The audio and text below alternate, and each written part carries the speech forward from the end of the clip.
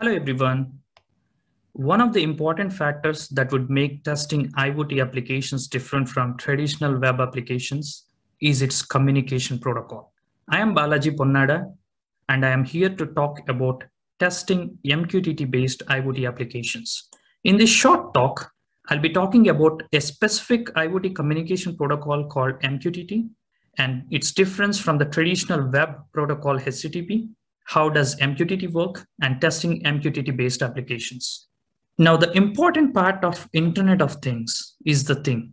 Now, what's a thing? A thing is anything that has the ability to sense data, which means it has a sensor, and it has an identity. You call it IP address or MAC address, and it has the ability to communicate the data over the network. Now, this is obviously beyond computers. Let's talk about an example.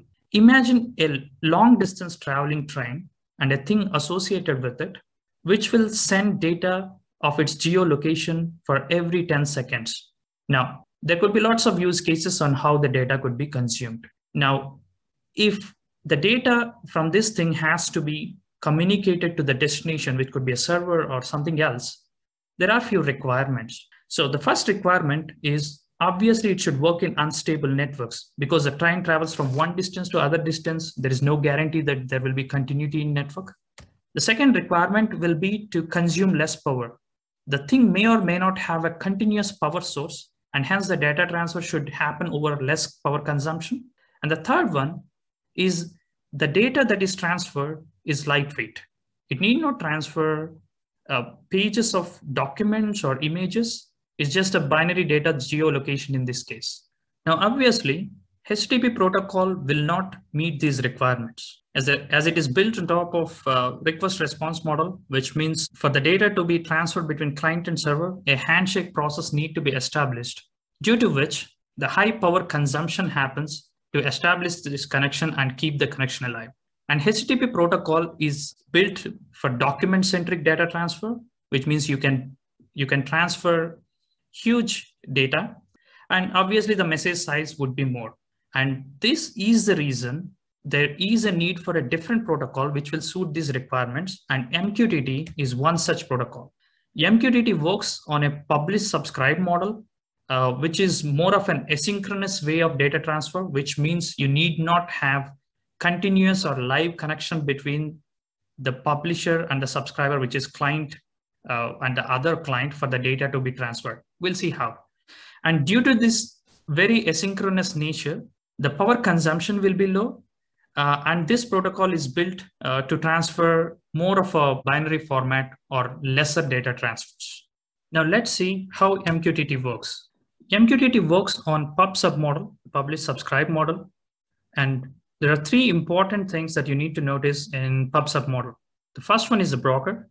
The second one is the topic. The third one is a client. A client could be a publisher or a subscriber depending on the activity performed. In this example, a temperature sensor acts as a publisher. It basically senses the room temperature data and connects to the broker and publishes data, temperature data beyond 25 degrees to a topic called sensor one slash temperature. Now, the broker stores the information of the publisher and the topic details. Now, a subscriber can connect to the broker and subscribe to the same topic in order to receive the data the publisher has published. Now, broker will have the additional flexibility via certain parameters written in MQTT specifications to relay the information from the publisher to the subscriber. Now, let's try to understand the parameters uh, in the MQTT specification, which will also help us understand what is involved in testing MQTT-based applications. Now, MQTT.org is the home URL uh, for MQTT protocol. And then you can find the specification over there. There are different versions, the latest being MQTT 5 and 3.1.1 has lots of implementations. Go there, let's look at one parameter, which is called quality of service. Now QoS is a parameter. When it's set to zero, the message is delivered at most once. And when QoS is one, the message is delivered at least once and QoS is 2, the message is delivered exactly once. We'll see what, what does it mean.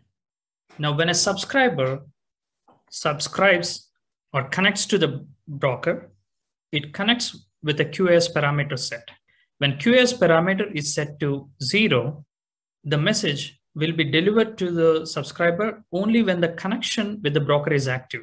Whereas if the QoS is set to one, the message is supposed to be delivered even when the connection is active or inactive. Now, how does it happen when it's inactive?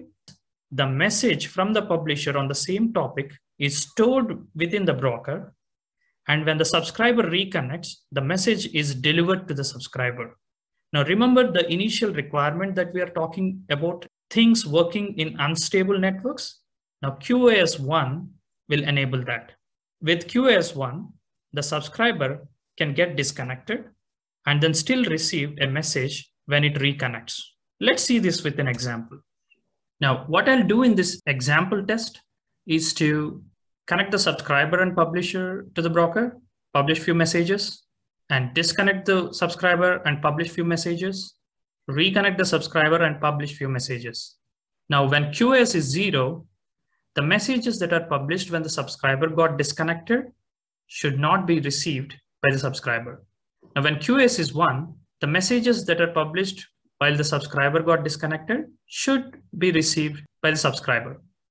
Let's see this. I've taken a sample uh, Python script to replicate what I've shown there. Initially, let's set the QoS to zero for the subscriber. I've connected the subscriber and I've connected the publisher and I have the subscriber subscribe to the topic called topic one. And then the publisher published message one to topic one, which is message one. And then it published another message, message two. And I have disconnected the subscriber. Now published messages three and four after the subscriber got disconnected and reconnected the subscriber now and published message five after the subscriber got reconnected. Now, basically with QoS 0, 1, 2, and 5 are what subscriber should receive. And with QoS1, all 1, 2, 3, 4, 5 are what it should receive. Let's test this. Let me run this Python script.